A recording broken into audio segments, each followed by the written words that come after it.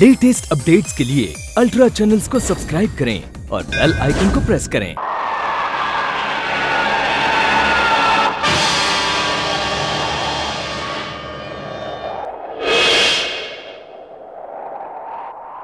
देवर्षि! गुरुदेव! गुरुदेव! गुरुदेव, कहाँ हैं आप कहाँ हैं? अपने शिष्य की पुकार सुनिए गुरुदेव। पधारिए गुरुदेव। पधारिए।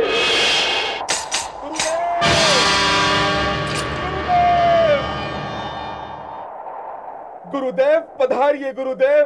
पधारिए। क्या बात है हनुमान? प्रणाम गुरुदेव। गुरुदेव मेरे प्रभु को किसी ने आहत कर दिया है। उन्हें किसी ने नाग पास में बाँध दिया है। मेरे प्रभु और भैया लक्ष्मण बेसुध पड़े हैं मैं बहुत लज्जित हूँ, गुरुदेव। बहुत लज्जित हूँ। नारायण नारायण। हनुमान, तुम तो वरदानी हो, वज्रांगी हो, भगवान शिव के अंश अवतार हो। अपने प्रभु को संकट में देखकर इस समय तुम अपने आप को भूल बैठे हो। धैर्य धरो। श्री राम तो सृष्टि के पालक हैं। भगवान विष्णु के अवतार हैं। इस संसार में ऐसी कोई शक्ति नहीं, जो उन्हें आहत या बेसुध कर सके। ये तो उनकी लीला है। नहीं, गुरुदेव। प्रभु श्री राम और भैया लक्ष्मण इस समय घोर संकट में हैं। और यदि ये उनकी लीला भी है तो भी मैं उन्हें इस स्थिति में नहीं देख सकता। आप मेरे गुरुदेव हैं। कृपया मुझे बताइए कि उन्हें इस संकट से छुड़ाने के लिए मुझे क्या करना चाहिए? अपनी व्यथा लेकर तुम्हें शिव शंकर की शरण में जाना चाहिए। तुम्हारा मार्गदर्शन करेंगे।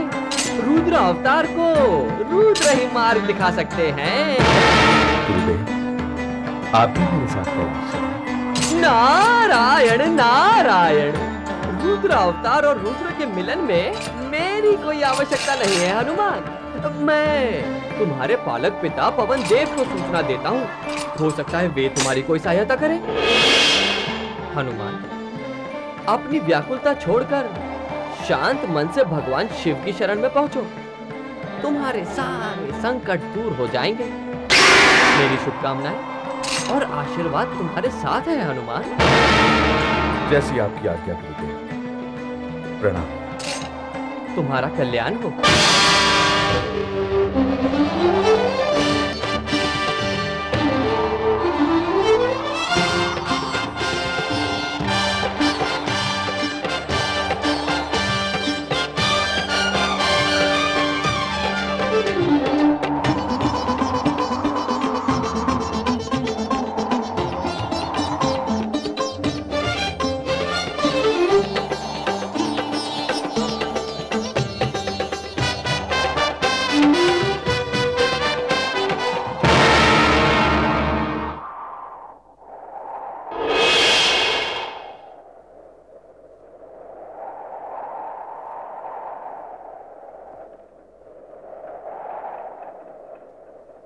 शिव शंकर भोलेनाथ, कहा है आप?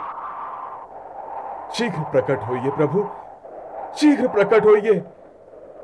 अपने भक्त की पुकार सुनिए प्रभु, अपने भक्त की पुकार सुनिए और शीघ्र प्रकट होइए।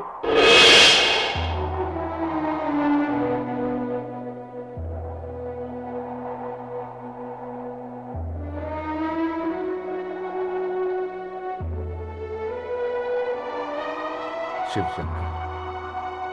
क्या आपने भी इस विपत्ति में मुख मोड़ लिया है प्रभु? हनुमान को इस घोर संकट में अकेला छोड़ दिया। एकाएक एकाएक मुझे इतना विवश और निर्बल क्यों बना दिया प्रभु? किस लिए? किस लिए?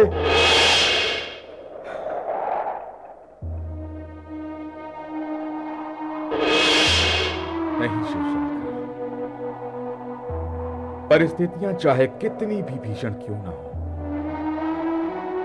परंतु हनुमान चट्टान की तरह अटिक रहेगा। यदि हनुमान ने ही साहस छोड़ दिया तो शिव शंकर और श्री राम की महिमा में कौन विश्वास करेगा? आपको मेरी पुकार सुननी पड़ेगी आपको प्रकट होना पड़ेगा। आप? आप रुद्रावतार हनुमान को इस तरह मझधार में छोड़कर नहीं जा सकते, प्रभु। मैं भी देखता हूँ। आप कब तक मेरी शिवाय।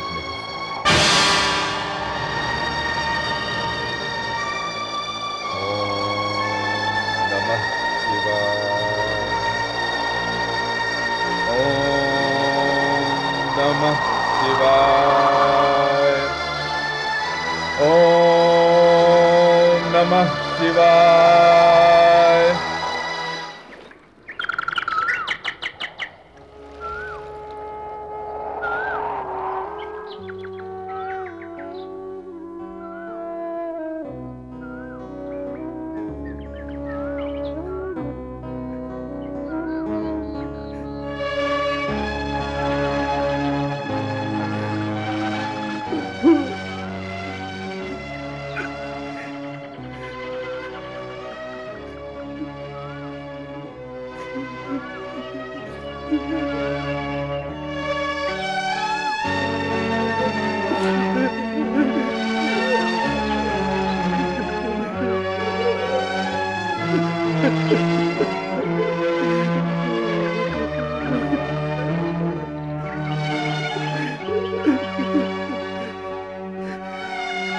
क्या हो गया प्रभु? वानर राज सुग्रीव वानर राज सुग्रीव निराश मत होइए। प्रभु श्री राम की सुध शीघ्र ही लौट आएगी। जामवंत जी मेरी तो कुछ समझ में नहीं आ रहा कि मैं करूँ तो क्या करूँ। चाचा श्री? चाचा श्री आप यहाँ हैं और हनुमान पता नहीं कहाँ चले गए। अंगद इस संकट की घड़ी में हनुमान पता नहीं कहाँ चले गए हैं और यह भी पता नहीं कि लौटेंगे कब। चाचा श्री, हनुमान को इस समय हमारे साथ होना चाहिए था। पता नहीं शत्रु इस अवसर का लाभ उठाकर आक्रमण ना कर दे।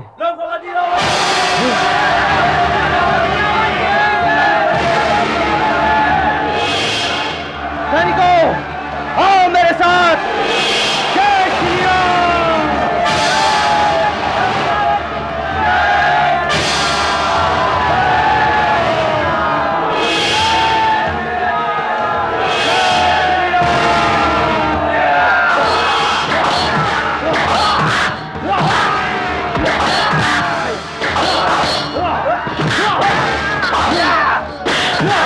ओम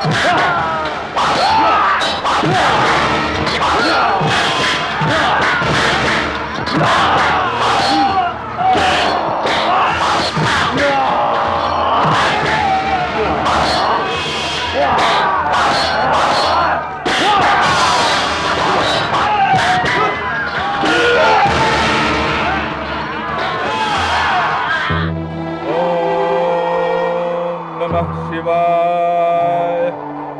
ओम नमः शिवाय। रुद्रावतार हनुमान। प्रणाम प्रभु। शिवशंकर कहाँ थे आप? क्या इस विपत्ति की घड़ी में भी आपको परीक्षा लेने की सूची थी? परीक्षा? कैसी परीक्षा हनुमान? प्रभु सब कुछ जानते हुए भी अनजान ना बनिए यह असत्य नहीं है हनुमान कि हम सब कुछ जानते हैं। परंतु सब कुछ जानते हुए भी विधि के विधान को कैसे बदला जा सकता है? कैसा विधान महादेव? और वो कौन सा विधाता है जिसके विधान को आप नहीं बदल सकते? आप रुद्र शिव शंकर हैं। इस सृष्टि के निर्माण पालन और संहार के आदि करता है। संसार में ऐसा कौन सा कार्य है जिसे आप नहीं कर सकते प्रभु? जिसे आप नहीं कर सकते। हनुमान तुम इस समय भाव विवल हो रहे हो। तनिक शांत मन से विचार करो कि जिन घटनाओं का निर्णय बहुत पहले हो चुका है, उन घटनाओं की श्रृंखलाओं को हम कैसे तोड़ सकते हैं? अर्थात भगवान विष्णु के अवतार। सर्वशक्तिमान श्री राम को नागपाश से बांधकर उन्हें घायल और बेसुध करने का निर्णय बहुत पहले हो चुका है। प्रभु, क्या आपकी सृष्टि में कोई राम शत्रु श्री राम से भी अधिक शक्तिशाली है? बताइए प्रभु मेरे प्रश्न का उत्तर दीजिए प्रभु। शांत हनुमान शांत। राम लक्ष्मण जिस नागपाश से बंधे हैं उसे पाताल लोक की नागमाता ने नागकन्या सती सुलोचना के सुहाग की रक्षा के लिए प्रदान किया था जिसे सती सुलोचना ने अपने पति मेघनाथ को दे दिया। अर्थात ये कार्य रावण पुत्र मेघनाथ ने किया है। हाँ हनुमान। मेघनाथ ने नागपाश का दुरुपयोग किया है। उसने बिना पूर्व सूचना दिए राम लक्ष्मण को नागपाश में बाँध दिया।